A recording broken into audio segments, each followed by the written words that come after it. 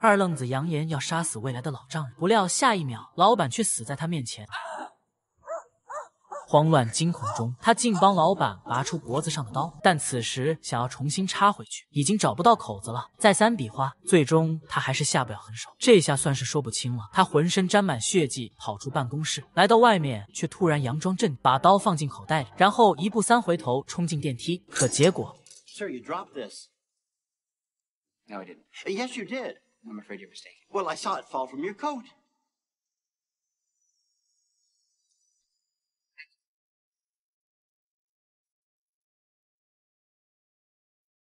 真正的凶手此时从窗帘后面走了出来，只见他纵身一跃，钻进了天花板内，眨眼间扮成送水工，顺利逃脱。警察很快赶到现场，开启全程搜捕凶手。二愣子一口气逃到十米外的桥上，打算在这里神不知鬼不觉，丢掉作案工具。好巧不巧，掉在巡逻的警车上，这下完了，人赃俱获。铁柱吓尿了，慌忙逃窜。然而警察并没有追捕他，因为他们已经找到真正的凶手。原来老板办公室里有隐藏监控，警方掌握了案发经过。知道铁柱不是凶手，都没搭理他。可铁柱不知道啊，他认为自己指定被人当成杀人犯，无法洗脱嫌疑。路上见到警察，就像猫看到老鼠，东躲西藏。他认为能证明自己身份的东西也不安全，万一被人看到就完了。于是便取出钱包里仅剩的三十块钱，其余的银行卡呀、身份证啊，统统丢进垃圾桶。他开启了逃亡之旅，打算买一张去墨西哥的车票。请问二十五块钱能去哪？室内一日游。那我把手表抵给你，换一张去墨西哥的车票，可以不？另一边，警方公布了案发现场的视频，发出通缉令。真正的凶手都懵，这他奶奶个腿，哪来的监控啊？杀手趁夜色偷了一辆吉普车，朝墨西哥的方向逃窜。要说这杀手和铁柱之间的缘分，简直妙不可言。他们相互瞅了一眼，杀手根本想不到铁柱将是他职业生涯中最大的阻碍。杀手一脚油门先窜了，然而铁柱根本就看不见他，而是满意的欣赏着自己的眼屎。警方再次发布新消息，杀手偷了一辆黑色吉普车，发现的也太快了吧！这辆车是不能再开了，杀手只好弃车而逃，而铁柱则在半路被司机赶下车。原来那个黑心售票员收下昂贵的手表后，只给了他一张去墨西哥的半程票。司机还好心给他指路，前方左转，翻过一座山，五十里后右转，再直行三十里，就到墨西哥旁边的沙漠。祝你好运！铁柱在荒郊野岭走夜，精疲力尽时，却意外发现杀手丢弃的吉普车。他满心欢喜的开车来到附近的旅店，用仅剩的二十五块钱开了个房间。但他狗狗碎碎的行为却引起老板的疑心，这不是通缉令上丢的吉普车吗？这是个杀人犯！老板立马打电话报警。很快，铁柱也看到了报纸信息。现在警察办案效率都这么高的吗？今天早上偷的车，昨晚就被发现了。铁柱气疯了，哐哐撞墙。恰巧杀手就住在隔壁，还以为自己被人盯上了。谁知警方此时也赶包围了这里。铁柱眼看无路可逃，便故作聪明，用浴巾包住大脑袋，试图从警方眼皮子底下开溜。警察望着荒诞的一都没有阻拦，因为凶手身材魁梧，明显不是他这种细狗。但旅店老板却不干了，警察叔叔，快抓住这小子！我伪装成这样也能认出来。铁柱看自己暴露，当着一众警员的面撒腿就跑。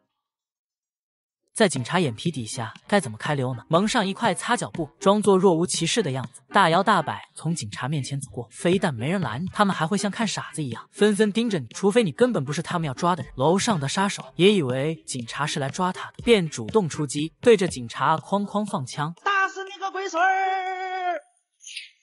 铁柱还以为是在打他。随即来了一波蛇形走位，心想这下子弹就瞄不住他了。杀手翻身一跃跳下来，趁乱抢了一辆警车逃窜。铁柱继续前往墨西哥，刚打算想跳上火车，却不料细狗太猛，翻过了，直接跳进玉米地。好在列车长窜稀，才让他有机会爬上火车。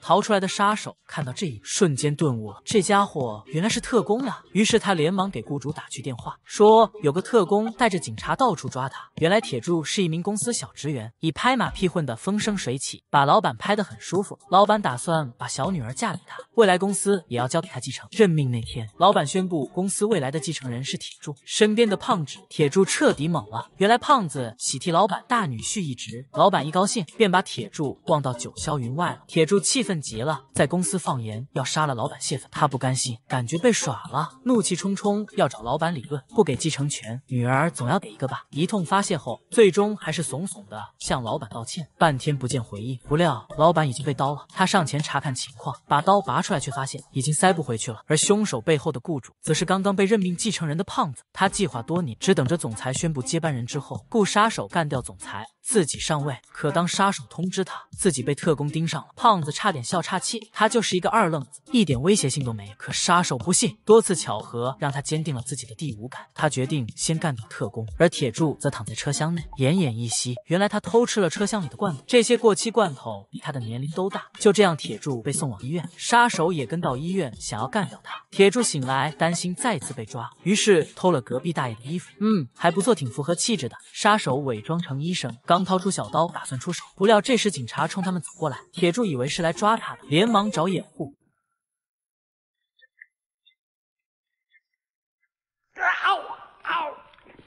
警察同事心脏病犯了，让医生抢救，殊不知杀手只会杀人，哪会救人啊？果不其然，人没救活，而警员还贴心的安慰他：生死有命，富贵在天。杀手想要到外面找静静，趁机溜了。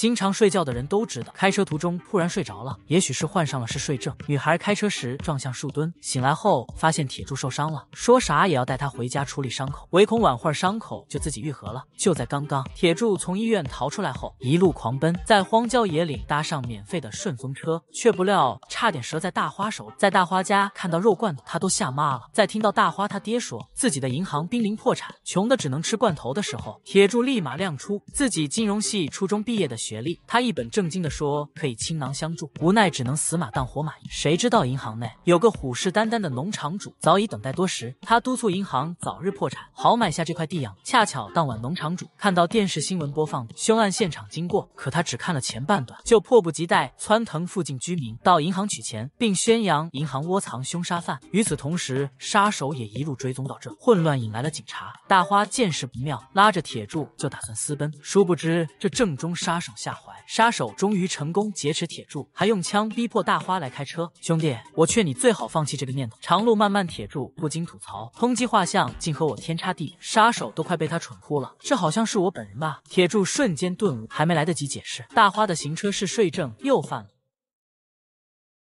我就说吧，让他开车不太行。与此同时，大批警察围堵住他们。杀手眼瞅无处可逃，带着人质爬上高台，威胁警方：“你们的特工在我手上，料你们也不敢开枪。”眼看杀手即将动手，铁柱嘻嘻哈哈蹦到后面，吸引杀手注意力。大花趁机使劲捅杀手伤口，滋哇一声，杀手掉了下去。千钧一发之际，铁柱伸出手抓住他。怎么会迷上你？我在问自己，这个就是爱情。